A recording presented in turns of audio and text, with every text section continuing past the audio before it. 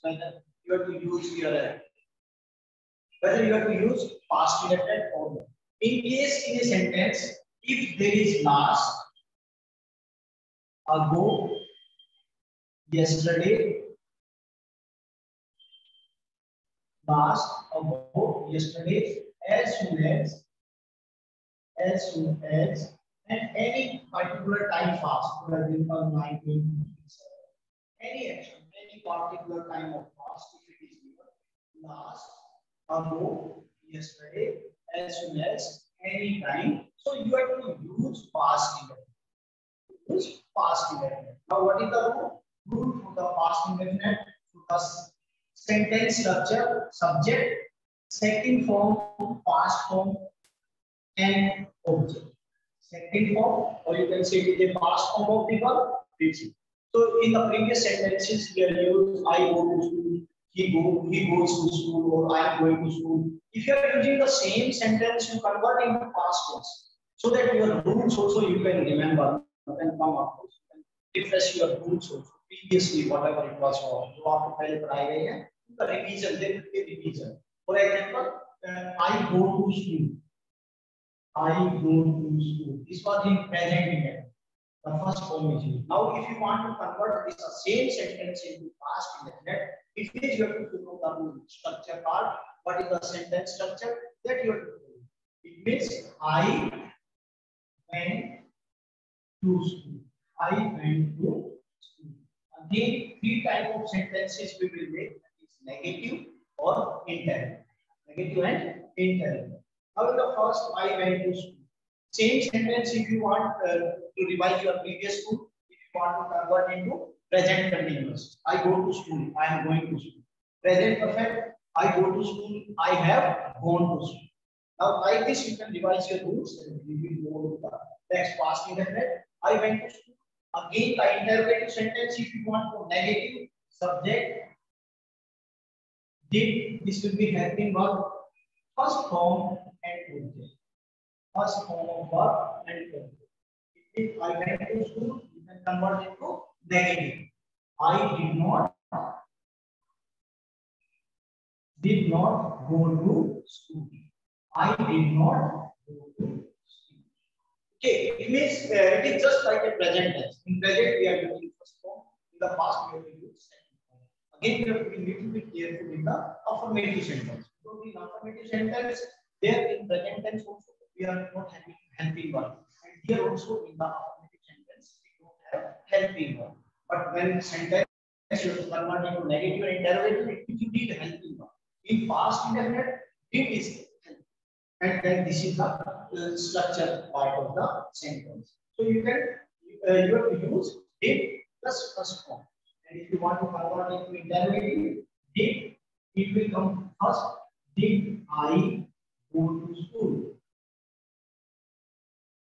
Like, did I Now, who will be did subject first form and and first first form and object. This is your structure part. You have to be very careful. Only thing to know where uh, this part past indefinite is and what is the uh, sentence structure, how the sentences are formed. कैसे sentence बनाया जाएगा? If you know this one, that is your past indefinite. That is past indefinite. Next is past continuous. We go to the next sentence that is past continuous.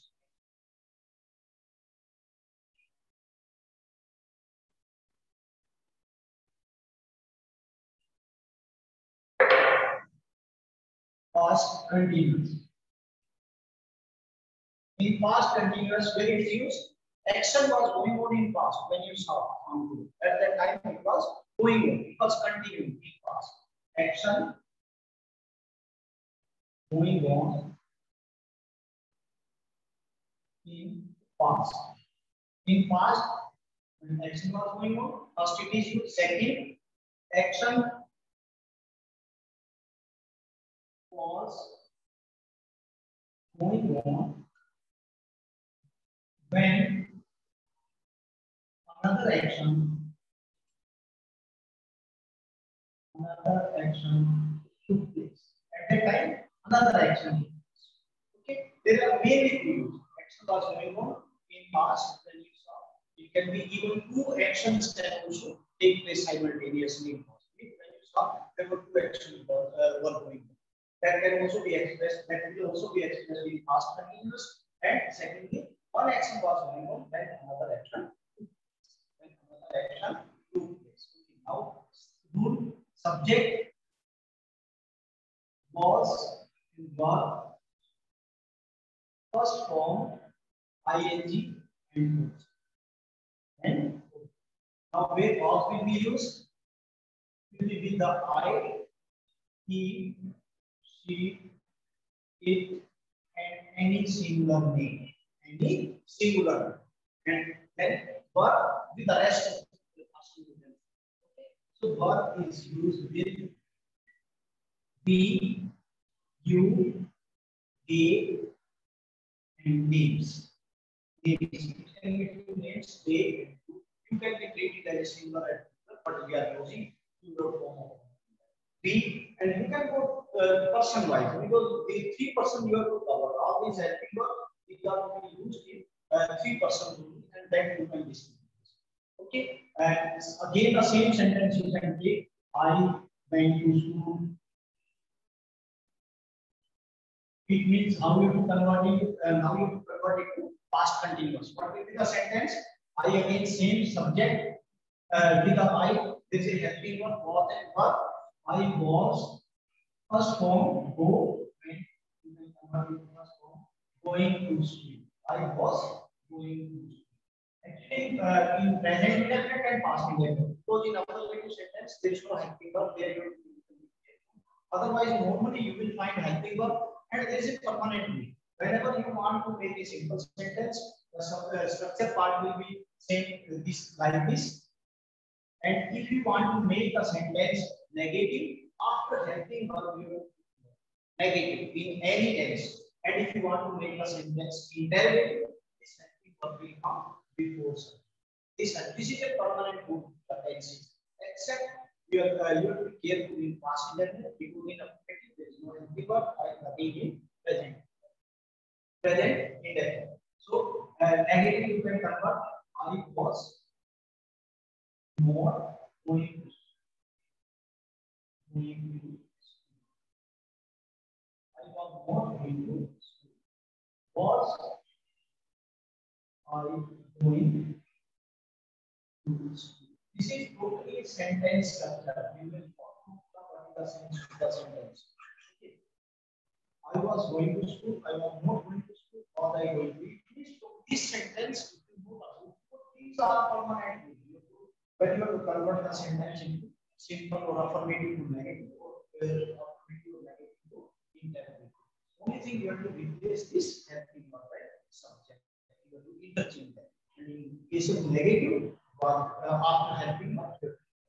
But sometimes this one uh, action was going on when another action took place. Another action, this is a combination with the past indefinite. Now this is a combination next. For example, if you say, when I went to my friend, when I went to my friend, he was playing. He was playing. He was playing. It means this action. Another action to when I went to him. At that time, some uh, past continuous, some action was doing. Okay, this can be a combination. This is a combination we have to discuss on because it is a sentence structure. Conditional sentence also. Okay, uh, when I went to him, uh, he was late. When I went to my friend. Like this. Okay, this is all about past continuous. Next tense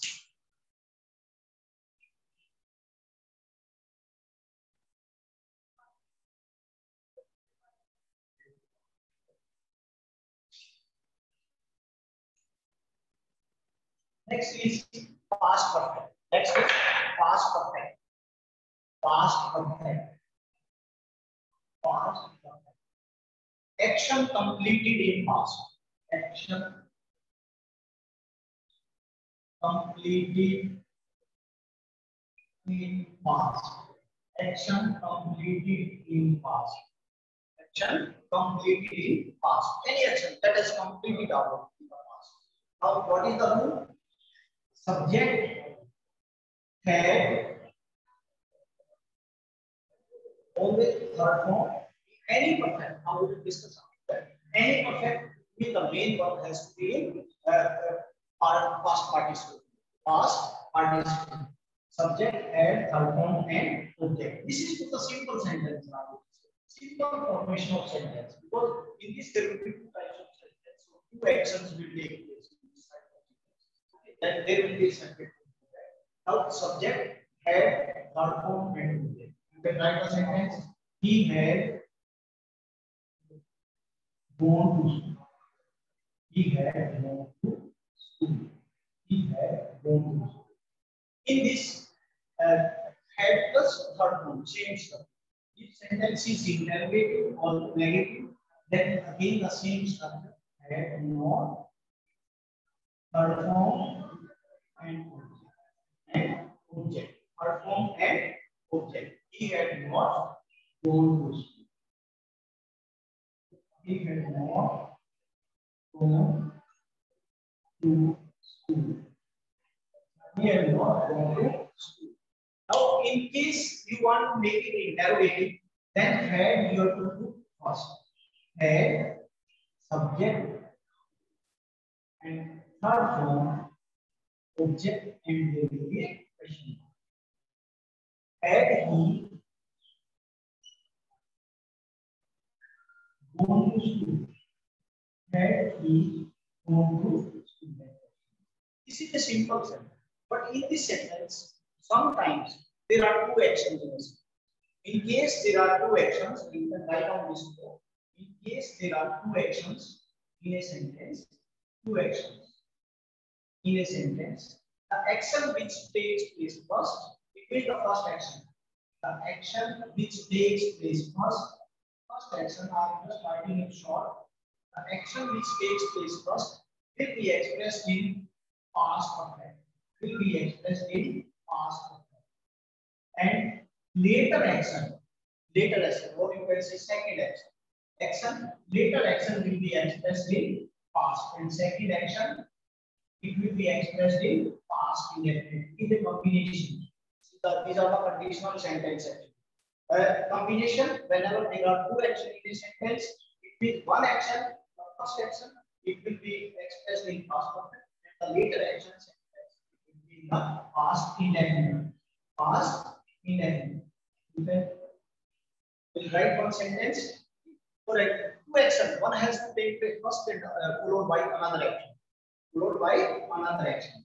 He had gone to school before the bell rang before the bell rang. Okay, before the bell rang or before the bell rang. Uh, he had gone to school before the bell rang. And even you can use here before, uh, okay, you can use when. He had gone to school when the bell rang. When the bell rang, little difference जब वह school पहुँचा दो घंटे बजने से पहले school and if you want to use another word after you can use in the same sentence without changing the sense you can use the word is after after come you use the bell the bell ring after he had gone means in this type of sentence, whenever there are two actions, you have to be very careful. There will be two actions, one action will take first and followed by another action. It means that whatever action it takes place first, you have to express in past. But you use different word after, before, and all this. You can use this word, but meaning will remain same. So you have to express in uh, initial action or first action, you have to express in past, in past. It means it is a combination. It could be happening of the lengths and all. The bell uh, the bell rang after he had gone. Meaning is saying we have the definite word here after, before, and you can use even here when. You can use when. Okay, this is past perfect. Now next.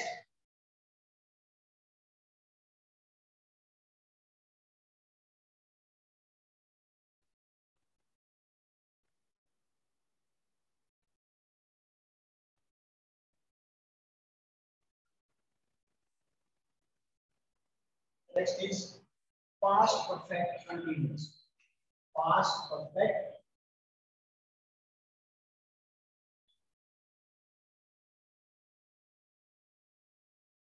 continuous. Past perfect continuous. Okay, perfect is also in continuous. Any action that was going on to a particular time in past. Any action. Action was going on from a particular time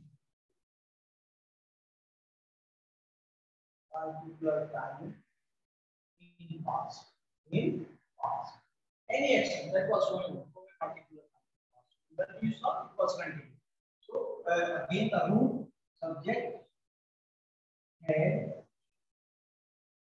been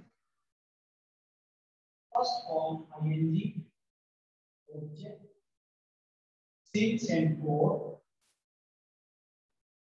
plus after that you have to write the time whatever time is okay subject been had been is had been first form of again participle form here you can see the uh, sentence structure for example is perfect you use the helping verb of the perfect being having then continuous means you have to use uh, uh, main verb main action action verb in present participle present participle. That is first form and ing first form ing okay. So you can make any sentence with without structure like uh, he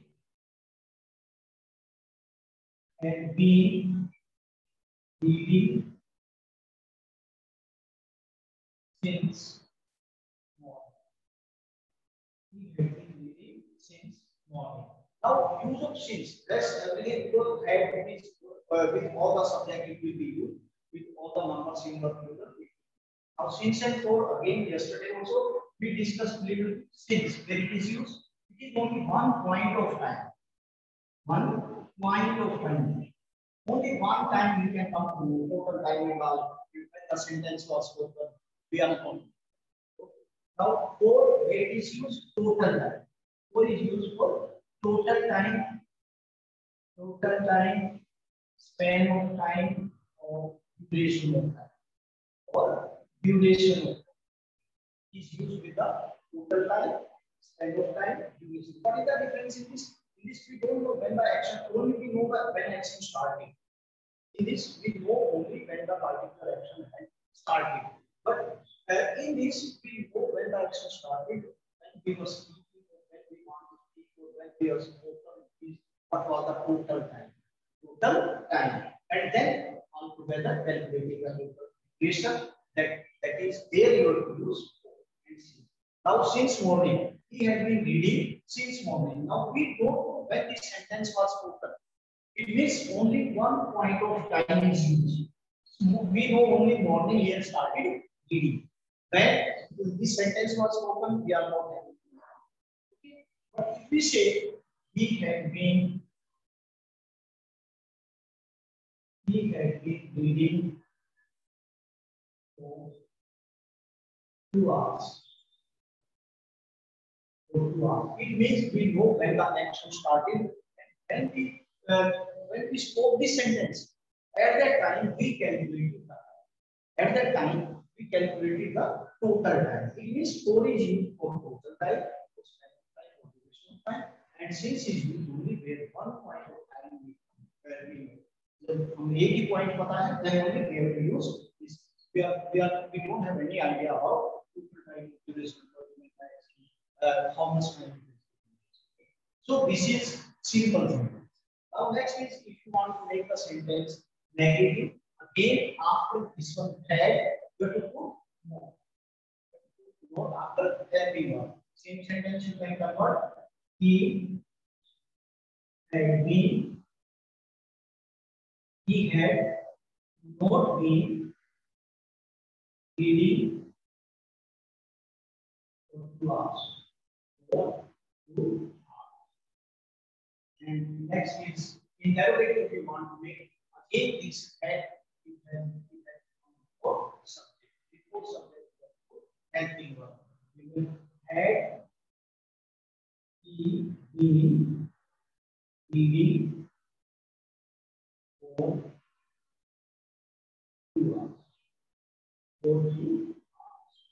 And two hours. These are the four types of past tense. These are the four types of past tense. Again, if you want to have comparison to the present, past, present and past, we will have a comparison. Tenses, once again, we can have a recap of the both the sentences. and First, present and then past in the past. Okay, indefinite you can say our whole type. Indefinite, continuous, perfect, and perfect continuous. Perfect continuous. Now in present, what was the condition? In present, we, we have used first form. Continuous ing it is always whenever you are using any continuous uh, tense, any continuous, whether it is present, past, or action word has be or ing, say present participle. Present participle. Okay. And here, have, has, or have been, then first form ing. First form ing. Here, present first form indefinite. Here, helping of will be is MR. Is and are. Here, have and has been first form and I. This is in present. But if you go in the past, it is very simple to compare and you can also. Here, you have to use second form. You have to use second form. And here, what will be the same action word will be there. Only you have to use was and was or plus moment IN. So it will be very easy to compare and out. Little bit mental exercise so that you learn the rules of this one and pair these are. Again, here perfect has and here it will be had. Thus, form, any perfect. Any perfect, you have to use the third form and helping verb, whatever helping verb. In the present, it is has and have. In the uh, past, it is and in the uh, this one, it will be had been had been plus first form ing first form ing and in the past right here this one. Is only for comparison not rough recap of the whatever we have covered the topic present perfect have and has third form and in this same has and have have been first form ing. Now you can compare with these two. Now see first form, second form. Helping verb do. In this helping verb did. Continuous ing form or you can say present participle, same present participle. It means helping verb only you to see. Is a was verb. Here perfect complete all participle form, third form have has and had. That is the difference. If you if you know the purpose and you know the rule, I think it will become very simple to express. And uh, you can eliminate any type of writing mistakes. Now, even speaking, also you can speak help of these uh, rules, grammatical. Now in the present perfect continuous, same have has plus been you have had. Here also had. It means you can see from here we have taken. It means it is a combination of perfect and continuous. So helping verb we are taking perfect and main verb and main has been added in this and may verb your continuous. Okay, this will be your past continuous comparison, and for the practice you can do this. Okay, thank you. Have a nice.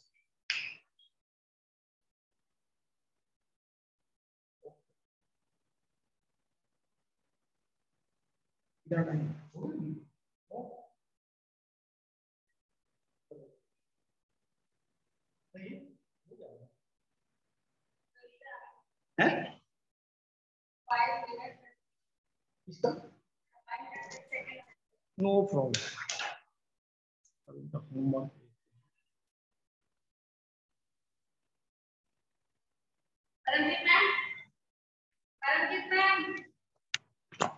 इसको मैं इसको मैं देखता हूँ।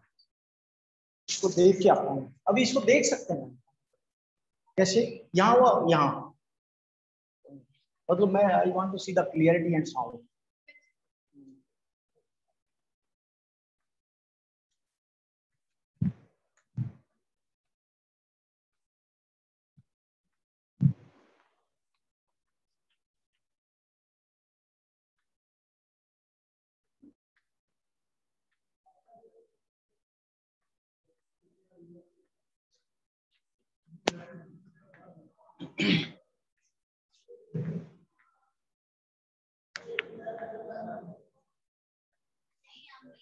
हाँ जी sir. Sir Dinesh sir उसकी clarity और साउंड कैसी थी? सर ने सुना हाँ